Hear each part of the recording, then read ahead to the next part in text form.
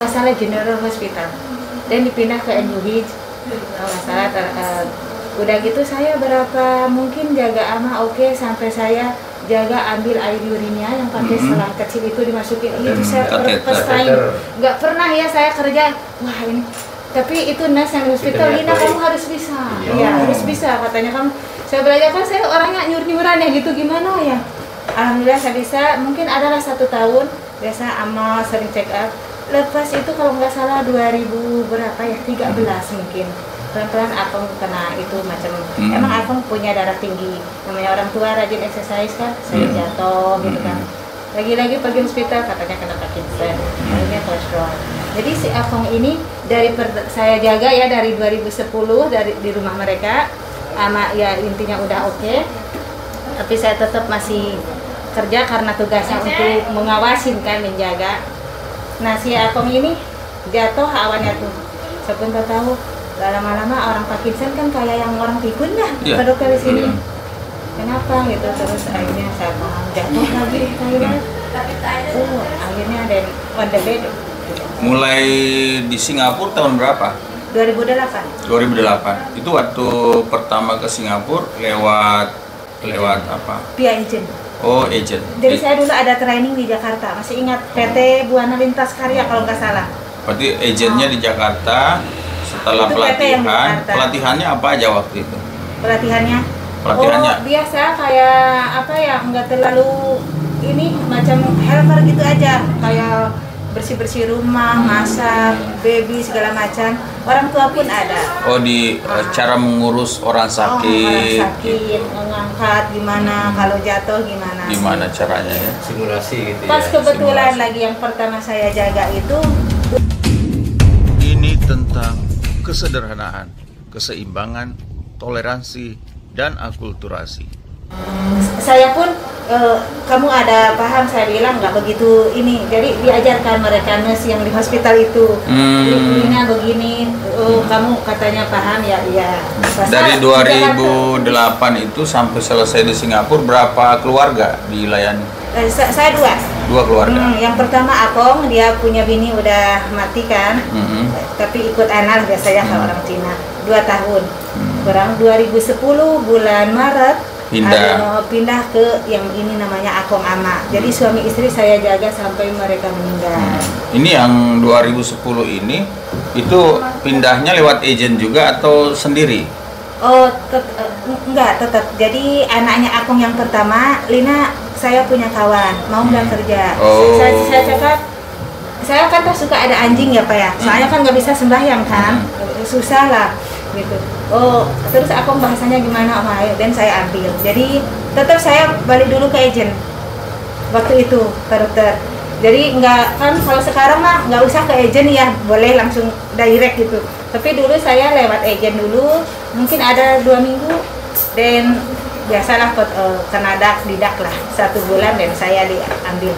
Hmm, Dua, nah, 2010 saya laki ya sampai apa? sampai selesai. Ah, sampai Sam- selesai. Pokoknya meninggal itu yang diurus baru selesai. Ah, ah. iya. Saya cakap ke Berarti Akong. berapa tahun yang kedua itu? Dari 2010 aja Sampai? sampai, 2023 bulan Agustus. Hmm, Bulan berarti tahun Agustus. kemarin lama juga di Singapura ya.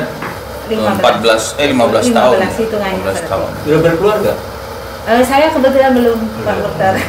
saya apa ya single lah. Bukan Tapi sebentar. Kalau dulu pernah. Dulu pernah nikah dulu. dulu pernah, makanya saya lari ke sana. Dulu. Nggak lama lah. Punya anak nggak? Nggak punya. Jadi mungkin udah apa? sa- Saya ingat dulu ah mau dua tahun. Dokter kok nanya udah nikah atau belum gitu? Maksudnya apa? eh maksudnya berkeluarga gitu Iya, nggak apa-apa. Soalnya di sana banyak ya orangnya. Oh, enggak. Pas kebetulan yang dari 2010 ini punya apa ya yang ama pemilih ini kan saya panggil ama pemilih akong itu we are family. Jadi Hmm, seperti oh, keluarga. Oh iya betul. Saya boleh. Maksud saya tuh gini jadi kalau berkeluarga anak yang di sini gimana gitu Iya. ya itu ibaratnya Saya gitu. boleh Ini pulang pendekatan sebelum keluarga covid. kayaknya. Itu Ke juga apa? pekerja migran. Ah, ah. Saya, saya boleh pulang. Bagusnya itu dulu satu tahun Ada- ada sekali saya boleh gitu pulang. ya. Nah, Eh, nama lengkap Telinawati ya? Lina Yati. Oh, Linayati. Terus saya pernah eh, ada beberapa yang pernah saya amatin ya. Iya. Maaf, maaf Bang. Eng. Yang semacam baby sister gitu. Eh bukan baby sister, apa namanya istilahnya tuh? Eh, perawatan orang usia lanjut yang di luar negeri. Iya.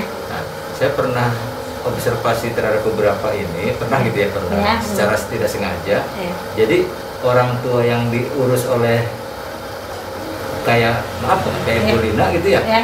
Itu rata-rata dalam satu rumah Tinggal di rumah itu juga maksudnya. Iya, Ya. saya dalam rumah. Nah, tapi anak-anaknya rata-rata tidak pada di situ gitu.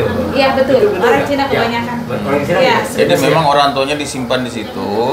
Ada kamar khusus untuk merawatnya gitu. Iya. Jadi pengurusan total mulai dari makan apa segala macam segala macam. Iya, saya handle. Iya kan ya. Anaknya yang kasih salary, terus mungkin ada time dia tengok, tapi saya di rumah sama akong saya. Berarti harus banyak apa tuh pengalaman kemampuannya ya. Eh, iya, Iya, kan? Saya handle. Tapi di sana saya nggak macam hari-hari harus cuci toilet, enggak. Terus air nyening saya enggak. Eh, nyetrika, mas, pasal yang dijaga Ada kan khusus? orang enggak, enggak ada. Jadi khususnya saya itu yang penting ama akong oke. Satu itu jangan sampai jatuh. Iya. Terus eh, makannya, minum obatnya. gitu. Gimana eh, enak kerja ya di Singapura? ya? Alhamdulillah Pak, makanya saya bertahan juga sampai bagus ya? Ya bagus. Ada ini nggak bonus jalan-jalan ke mana? Ada, saya tiap minggu off day. Makanya saya kalau Hari Minggu? 30 udah saya keliling. Kusuk, Bapak pernah?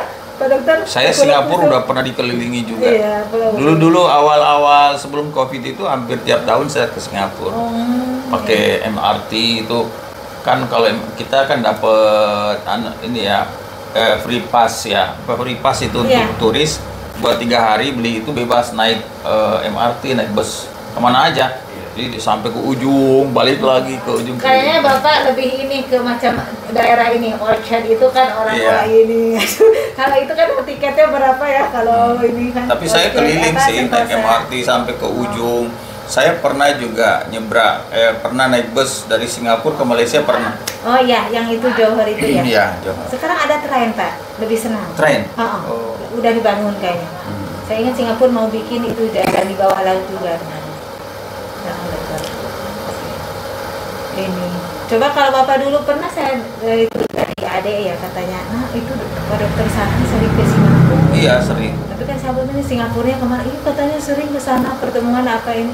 Pas nampak kan ada foto, oh ini Marina Bay Iya. seperti itu. Saya pernah. Hampir tiap tahun kita ke Singapura biasanya. Tapi waktu teman-teman PD, biji-biji, oke lah. Jadi sekarang sudah berhenti di Singapura atau Sudah mau kembali lagi? Oh, kalau kayaknya nggak Agennya tahu. masih menghubungi. Saya nggak punya agent sekarang. Lebih baik calling visa apa? Hah? Calling Visa. visa, saja. Oh. Calling visa. Jadi nggak kena potongan calling visa itu. Langsung ke Itu visanya berapa lama biasanya? Oh, 30 hari. Oh 30 hari. Kalau kita misalkan mau nambah terus eh, suka dengan kerjanya atau suka Bisa dengan nambah. ininya, eh, baru bos bikinin work permit. Bikinin apa? Work permit. Oh, Work permit IC, IC. I see. Ah, masa tinggal Tapi kan. I see worker ya. Iya, masih ya. Kemarin saya pernah baca juga orang Jawa dia eh, hampir 20 tahun di Amerika. Ya itu jadi mereka karena dari kecil ya dulu. Pas ketemu eh, alamatnya ya udah kayak berarti udah kayak saudara Iya, ada emang. itu hampir 25 tahun. Banyak kawan-kawan saya masih di Singapura dari macam eh, apa ya dari pertama nikah sampai anaknya menikah lagi sa- orang Pangandaran tuh masih banyak ada yang 20 tahun Terus ada kebutuhan makan sih gimana? Eh, makan Yang Bulina alami. Eh, biasa terkadang ini apa ya eh, kita dikasih uang juga kalau misalkan apa ya terkadang bos yang membelikan sayuran gitu. Nah, kita ya kalau mau Dia- makan jadi- eh, apa masak masak nggak masak dibelikan makanan. Jadi mereka bagus sangat eh, toleransi. Lina ini tak boleh makan. Cuman selera. saya muslim. Ini ada beda gitu. Ini ini pokoknya em, apa bosnya sudah tahu ini makanan halal buat iya Bu betul Lina. saya cakap sorry. Kalau aku Oh, gitu. saya cakap saya mau Toleransinya bagus banget ya makanya saya di sini insya Allah saya akan menjaga apa mungkin sampai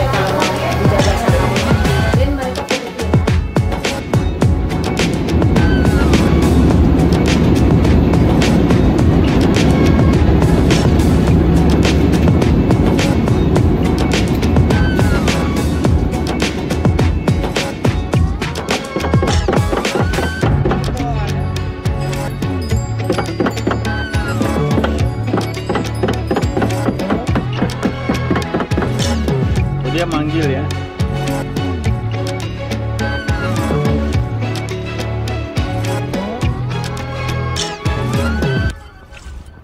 Kalau kemarin itu ada Pak, Eh, hari Jumat dia ada.